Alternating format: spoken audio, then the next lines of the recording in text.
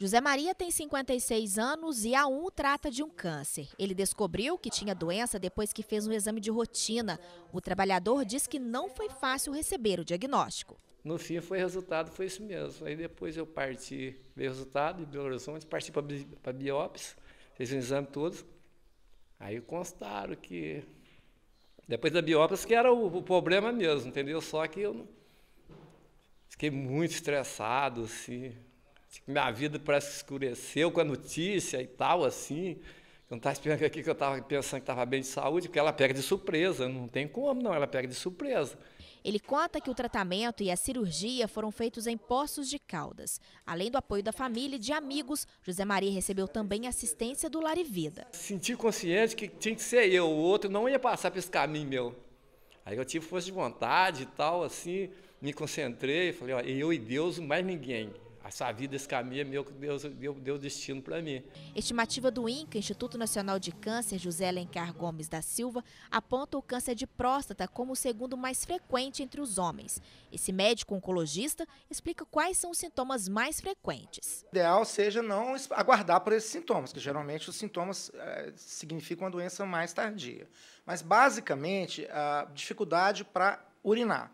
Então, o homem começa a levantar várias vezes à noite, né? porque normalmente você urina mais durante o dia, você passa a urinar mais durante a madrugada, durante a noite. E começa a fazer um esforço maior para poder urinar a mesma quantidade. E às vezes você urina pequenos volumes, né?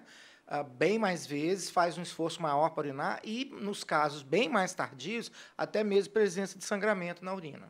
A Sociedade Brasileira de Urologia recomenda fazer o exame preventivo a partir dos 50 anos. Isso se não tiver histórico familiar. Pessoas negras devem fazer o exame aos 40 anos. De acordo com o médico, o diagnóstico precoce aumenta 90% a possibilidade de cura da doença. Você detectando a doença ainda restrita à, à próstata, o índice de cura é altíssimo. Quer por cirurgia, quer por radioterapia, eventualmente uma combinação, você tem um índice de cura de mais de 90%.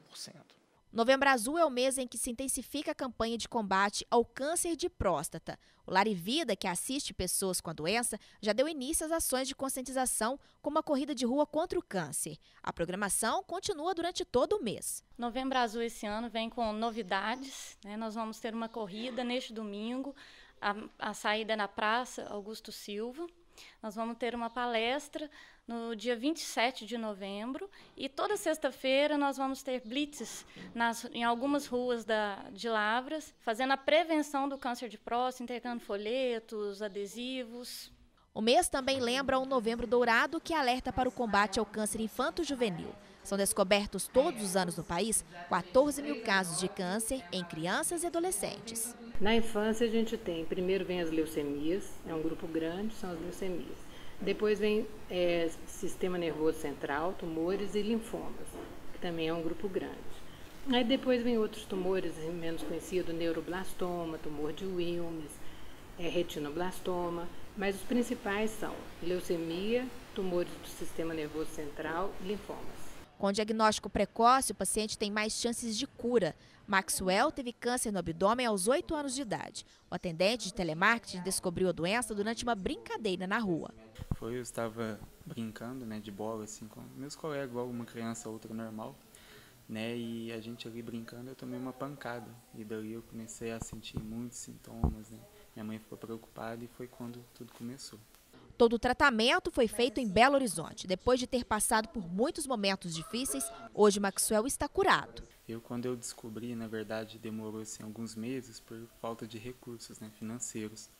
Mas, né, graças a Deus, deu tudo certo. E quando a gente chegou lá, o médico ele é, desanimou muito a gente, né? Mas foi bastante realista em falar que eu não tinha muita chance de viver, né? Porque o câncer chegou num nível muito forte quando a gente estava no meio do tratamento. Ele chegou a dizer para minha mãe né, que eu tinha em média de 7% de chance de viver, 7 a 10%. Então ali foi uma pancada muito grande, né? Até então eu como criança, eu tinha 8 anos, eu não sabia o que era um câncer, né? Então ali, né, graças a Deus, né, tudo foi passando, tudo foi correndo bem. E ao final do tratamento, né, nem mesmo os médicos acreditaram. Que você estava curado. Que eu estava curado. A pediatra alerta os pais para que levem os filhos com frequência ao médico e que fiquem atentos a qualquer sintoma diferente. a prevenção, ela se faz pelo acompanhamento e pelos exames periódicos. Então, a mãe levando a criança, o médico acompanha, e qualquer sinal que desperte suspeita, ele vai ser investigado. E se a mãe percebe também, tem alguns sinais assim de criança que não está muito interessada, está mais abatida, não quer brincar muito, mudanças que a mãe sabe que não é o habitual, é, desperta que deve levar para uma avaliação. Então, assim, o exame clínico, é, seriado, uma média de seis em seis meses, uma vez no ano no máximo, é muito interessante. Eu acho que vai ajudar bastante na prevenção ou evitar o diagnóstico tardio.